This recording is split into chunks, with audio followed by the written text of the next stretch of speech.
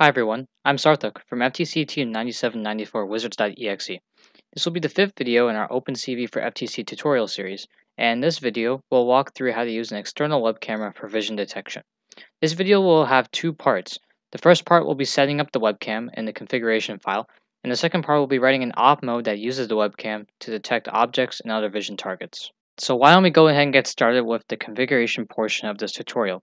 Here I've set up an example connection between a phone, a webcam, and the Rev Expansion Hub. Now, the webcam we are using is the Logitech C310. It is a 720 pixel webcam, which we used in competition for the Rover Ruckus season. We've pasted the Amazon link in the description below so you guys can check it out if you want to purchase it. Now, in order to connect the phone to both the webcam and the expansion hub, we need to use a USB hub so it can receive signals from both of them. Now we're using the Amazon Basics USB hub, which we've also linked in the description below. One thing to note with the USB hub is that at the end of the power cable, we, it needs to be snipped off because we have to solder a 5 volt connection. And this 5 volt connection is used to feed into the Rev expansion hub so that the USB hub can receive power. Now you can see here that I have a USB cable running from the expansion hub and now I'm going to plug it into the USB hub.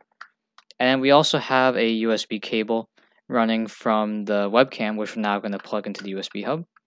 And you can see over here that the USB hub has an outgoing USB cable, which I've plugged into an OTG cable which feeds into the phone. So now the phone can receive signals over USB from both the Rev expansion hub and the webcam. Uh, now that we have all of this set up, we can add the webcam to the robot configuration file. To configure the webcam, you can either edit the configuration you already have for your robot, or you can create a new one. So I'm going to go ahead and go to the configuration screen on my robot controller app and make a new configuration. Now when you scan for new devices, you should see two tabs. The first one should be the expansion hub portal, but the second one should be the webcam. I'm just going to go ahead and press webcam. Now you see this name over here at the top of the screen. You go ahead and click that. Now it's going to be the name that you use for the hardware map configuration when you're programming the web camera. You can either change it or leave it the same. I'm going to go ahead and change it just to say webcam with all lowercase letters. Now you can go ahead and press done to save the configuration. I'm going to go ahead and call my configuration vision tutorial. Now once you save the configuration, the webcam has been properly configured in your configuration file. Now we can go ahead and program an op mode in Android Studio to use the webcam for vision detection. Now that we have all of our configuration ready to go, we should be ready to start programming. So over here you can see I have my Android Studio project open, which I've been using in previous tutorials for the Doge CV trainings. Now, uh, for our webcam, we're going to use the example op mode that's been provided by the Doge CV library. So if you've already downloaded Doge CV and followed through the rest of the videos, you should have the, uh, your example op modes over here under the examples folder in your Doge CV library folder.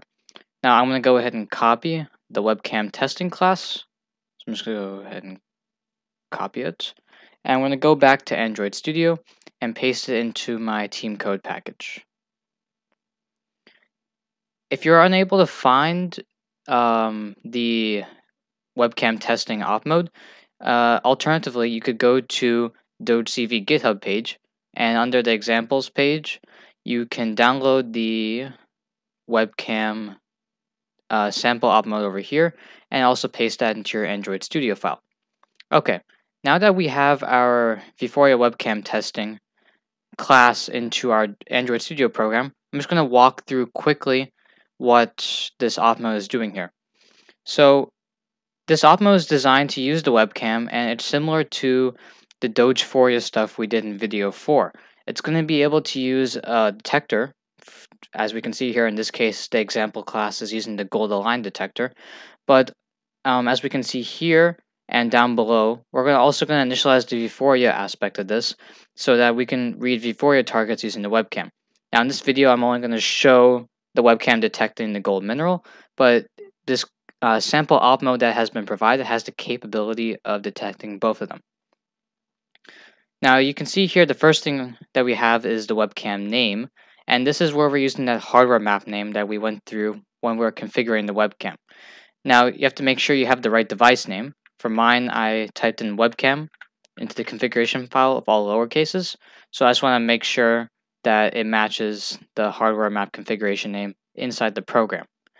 Now as we scroll down, we can see this is the Vuforia initialization code, which continues down over here. And right before we start the program, we have set up our detector and start our Vuforia stuff. So over here, we're using a gold align detector, which I walked through in some of our previous videos.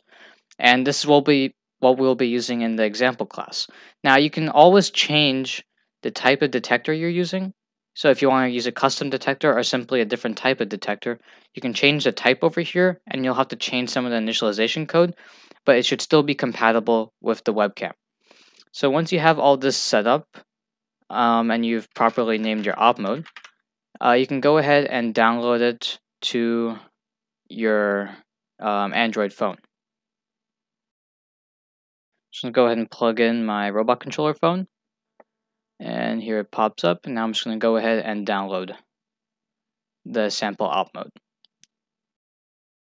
Alright, so once you have your code downloaded, you can go ahead and open up your op mode. So in my driver station app, I'm just going to go ahead and select my Vuforia webcam testing tutorial op mode. And you can go ahead and initialize it. And so you see on my right side of my screen, I have my robot controller phone being mirrored. And you can see that after I initialize the code, you can see that the gold align detector is being active and returning data from the webcam. I'm go ahead and press play on my op mode. Now you can see that the webcam is updating the image frames and that the detector is responding with the appropriate data. So it's saying that the gold minerals within the desired range and as you can see at the bottom of the screen it's also returning an x coordinate which is changing as I move the detector side to side. Now you can also see that when I move the webcam, I rotate it a little bit, it's also updating that image frame.